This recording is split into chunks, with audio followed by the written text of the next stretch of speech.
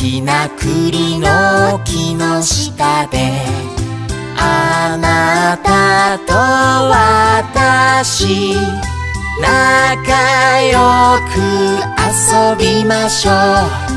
大きな栗の木の下で。少し速くなるよ。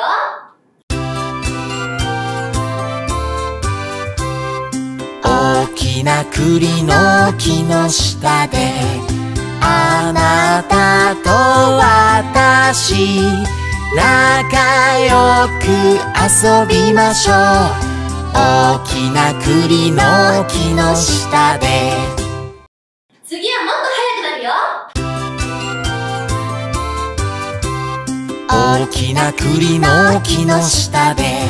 あなたと私仲良く遊びましょう大きな栗の木の下で。